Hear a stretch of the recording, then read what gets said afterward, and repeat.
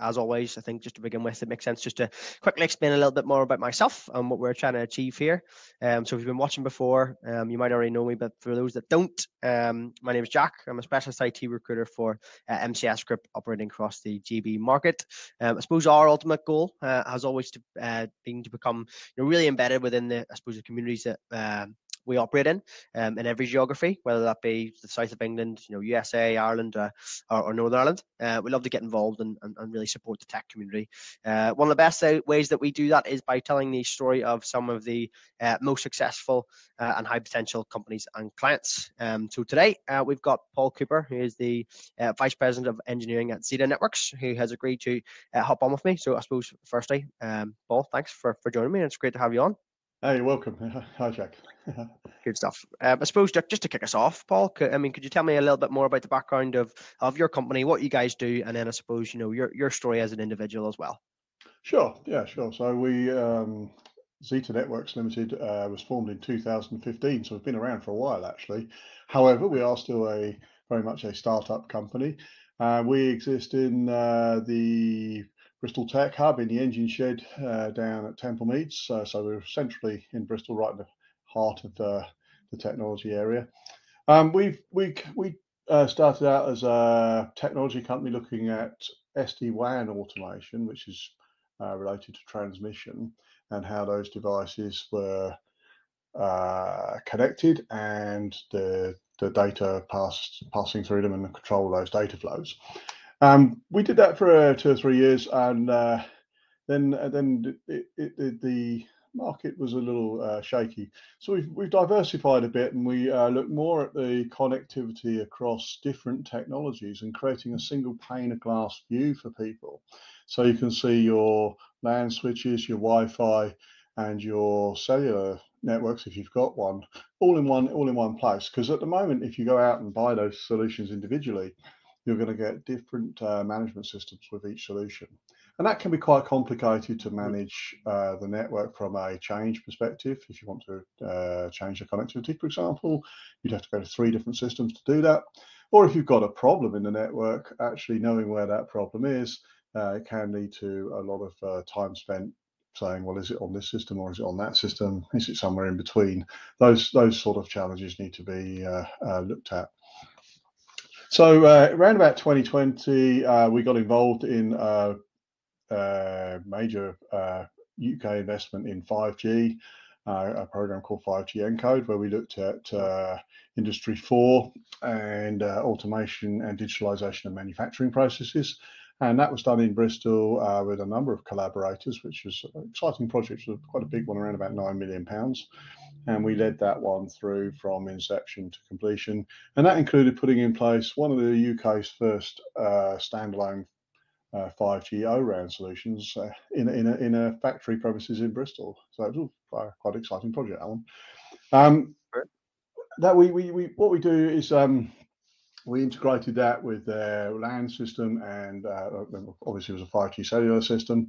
But we can also do uh, some Wi-Fi uh, as well. So if you want to uh, connect services, for example, in a stadium between your 5G, your local 5G uh, in the in the stadium with your Wi-Fi in the stadium and and the all the back back back end infrastructure to manage traffic. So things like uh, point of sale, tills, that sort of stuff, that, that traffic. Then you've got video surveillance cameras uh, for security. Also, if you're in a stadium environment, you might have um, football uh, video. Uh, I can't remember what the term is, where you're looking at the white lines and detecting whether the ball. Uh, VAR. VAR. Thank you, Jack. Mm. Um, so those sort of things. Um, and you've got to dedicate uh, certain uh, bandwidth of your network to each of those functions. So splitting out those services. So right now, when you put a network together, you just have one big base layer of transmission. It says, right, I've clicked everything to get everything, and we'll just share it all out and hope. That's okay in many environments. But in a stadium, for example, which is a good, actually, a good example actually, if you suddenly load 30,000 people into the stadium and they all start mm-hmm. using Facebook and other social media platforms, then the, the, that bandwidth will get very quickly consumed by those uh, uh, people in the watching the watching the event. Uh, that could be bad and, and, compromise your security, for example, if you're reliant on the network to also uh, pass security uh, camera feeds through to a central server where you've got the team looking out for incidents that might be starting or ongoing in that environment.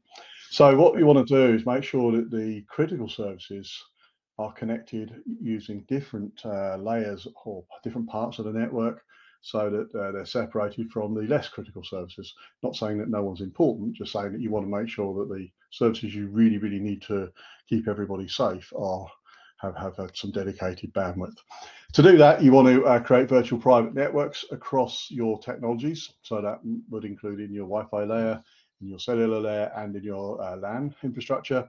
And if you're uh, doing that, then you need to be able to see them all uh, and uh, be able to really you want to simplify that process so you can just say, look, I want to put, set up a security service and it needs to connect these ports or this this uh, these these devices on our Wi-Fi or cellular to this uh, analytics server. And uh, our solutions enable you to do that, um, and they keep it they keep it very simple. You just literally say, I want to connect X to Y, and uh, and I want to give it a certain latency and a certain bandwidth, and then you let Zeetta's solution go off and uh, design the design the connection across the network, and then apply those changes to each of the devices that would be included in the design.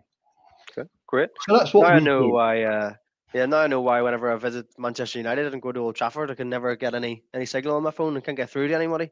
Well, that's Um, right. So they'll they'll have their security services and till services separated away from Yeah. public traffic. Then you are sharing it with everybody else in the stadium. Yeah. Right. and there are Yeah. limits, of course.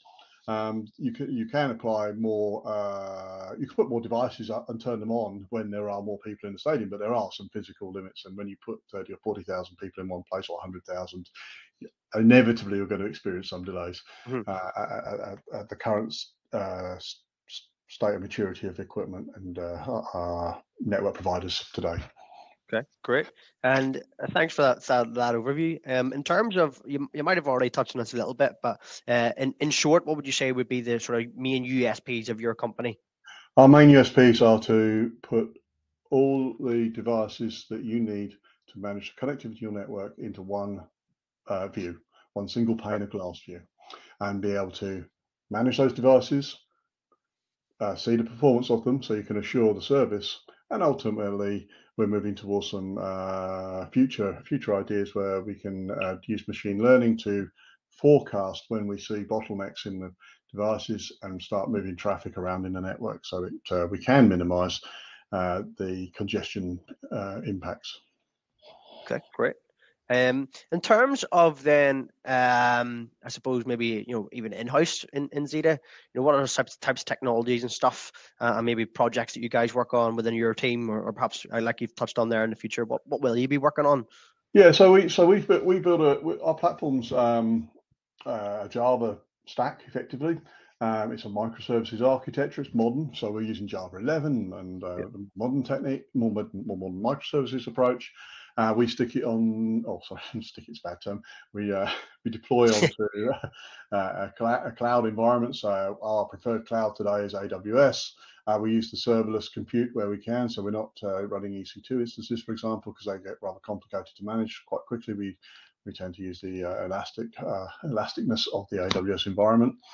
Um, that that means that uh, customers have an option to buy a cloud-based solution, or if they are uh, really concerned about security and other controls, that we can put onto their local uh, uh, cloud environment or onto bare metal if, if absolutely necessary. Okay, fantastic, great. Um, what about in terms of then? Again, you, you touched on it a bit there. What are the future plans? And if you can touch on maybe some of the challenges that you've particularly faced, or you might face you know, along the way. Well, I think you you you captured it quite uh, well when you said in the stadium you have trouble co- with connectivity.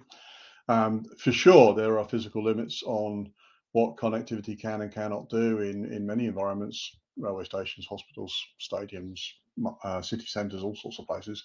Um, however, equipment's typically over provisioned and often not fully utilised.